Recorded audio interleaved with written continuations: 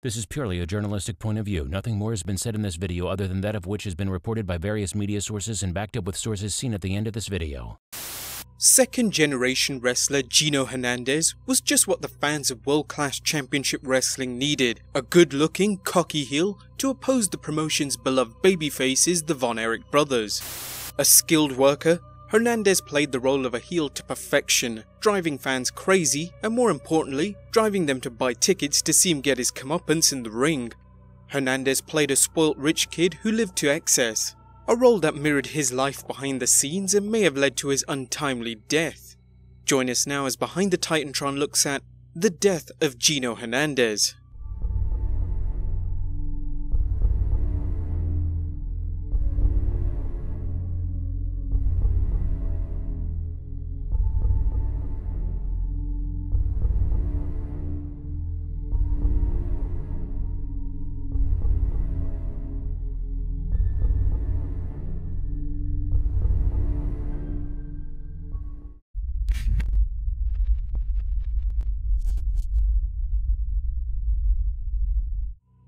Gino Hernandez was born Charles Eugene Wolfe Jr. on 14th August 1957.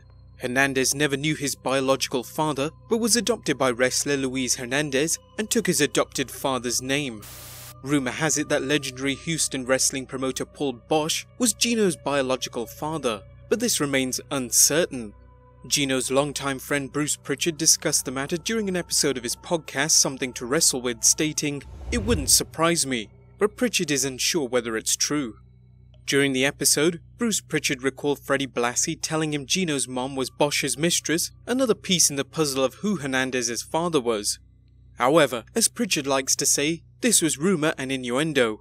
Whatever the answer to this mystery, what is certain is that Boesch supported Hernandez and put him in the main event in his Houston promotion, even when Hernandez wasn't even a regular in his promotion.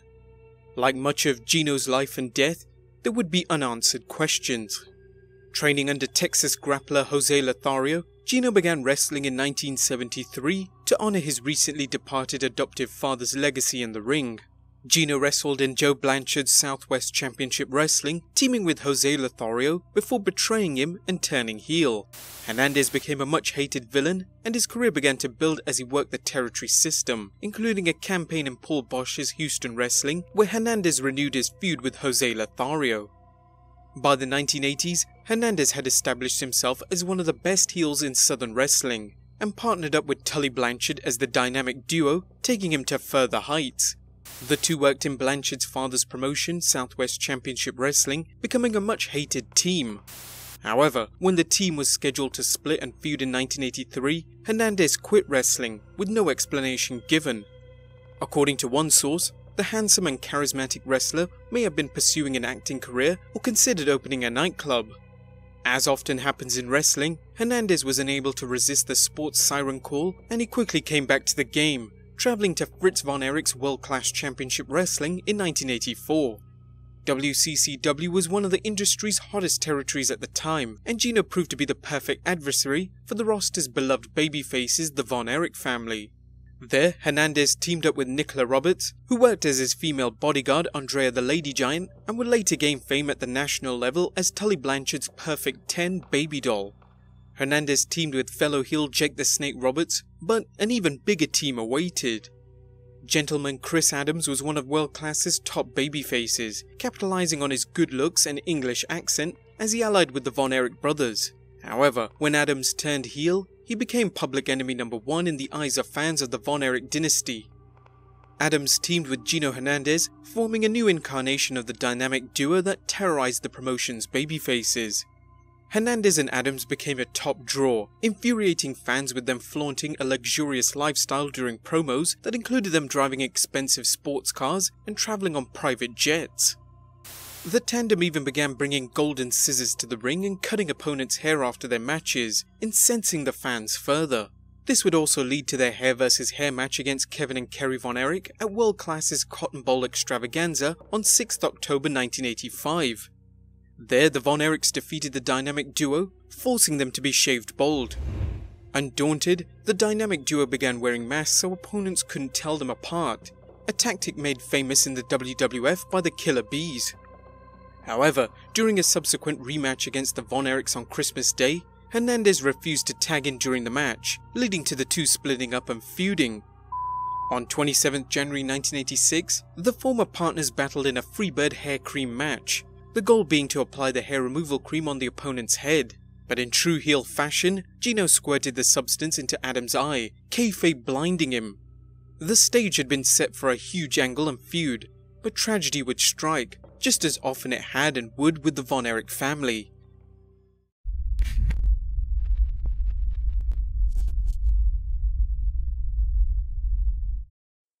The 1980s seemed fueled by the drug cocaine. Although cocaine was by no means a new party drug, its popularity during the disco craze of the 70s surged during the 80s. Celebrities fell victim to the drug during this time, such as comedian slash film star John Belushi and Pretenders guitarist James Honeyman Scott, each dying from cocaine related deaths. Others such as Stephen King and comedian Richard Pryor battled addiction, eventually recovering and warning others of the drug's allure. Gino Hernandez lived a fast driving lifestyle exemplified by 1980s novels such as Less Than Zero and Bright Lights, Big City, and the many true life stories of those who fell from grace thanks to cocaine fueled excesses. Hernandez's penchant for parties and cocaine use were well known amongst his peers. The good looking wrestler was the toast of whatever town he travelled to, and rumour has it he associated with Hollywood starlets. During an appearance on Georgia Championship Wrestling, Gorgeous Gino produced photographs of him and Hollywood sex symbol Farrah Fawcett partying together. While the photos may have been classic kayfabe, those who knew Hernandez had to wonder if the self-proclaimed handsome half-breed had indeed landed a television beauty. Then and now, Hernandez's life sparked controversy, and rumors persist that he may have even been gay or bisexual. The hard-living wrestler was hardly an exception to the industry, with other wrestlers using cocaine as their drug of choice. Where Hernandez may have differed was the company he kept, with stories circulating Hernandez was associated with drug dealers and perhaps even doing business with them. This story only fueled many rumors about Hernandez's public and private life.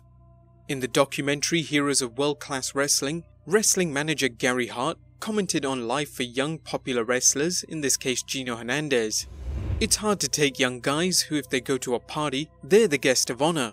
Whatever they want, if it's brews, broads, drugs, or Eskimo pies, it's theirs for the asking. Gino got into some bad things. The limelight caught him. Gino loved cocaine. Hart would recall visiting Hernandez's home and the young star pulling out a sugar bowl packed with cocaine.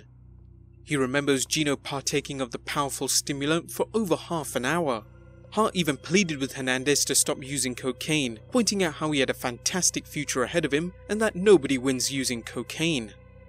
Hernandez's wrestling future was bright, with promoters enamored by the rising star and seeking to sign him. Despite Hart's advice, Hernandez candidly replied, Gary, I'm like that old dog. I've had all I can take, but not all I want. Days later, Hart received a call that Hernandez was found dead in his apartment from a cocaine overdose.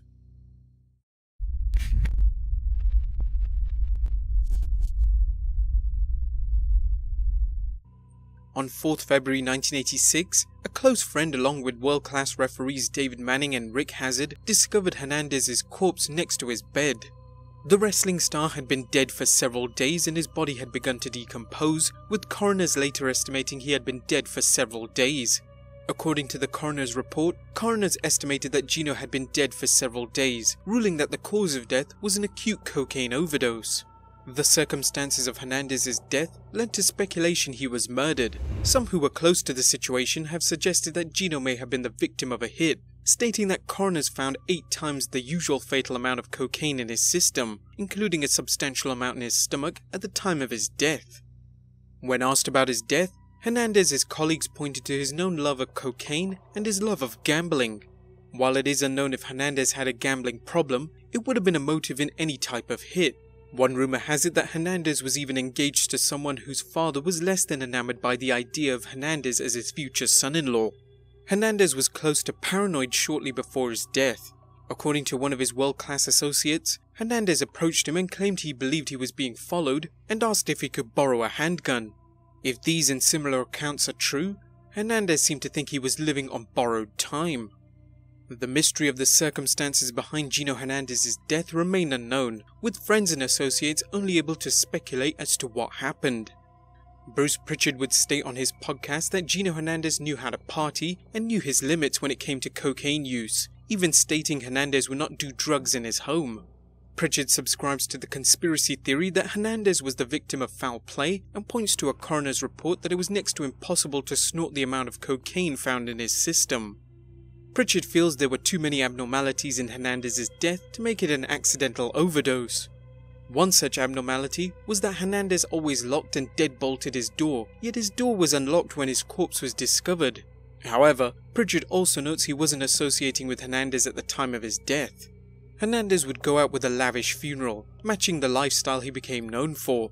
Gino was buried in a platinum casket with his American Express Platinum card, a credit card reserved for clients with large bankrolls, and pictures of his children. Bottles of Dom Perignon were strategically placed on the casket, while his mourners drank the expensive champagne and broke said glasses on his casket as it was lowered into the earth. According to Bruce Prichard, Hernandez's eulogy was delivered by a high-ranking cocaine dealer who was on the FBI's most wanted list, yet another example of the mystique surrounding gorgeous Gino's life and death.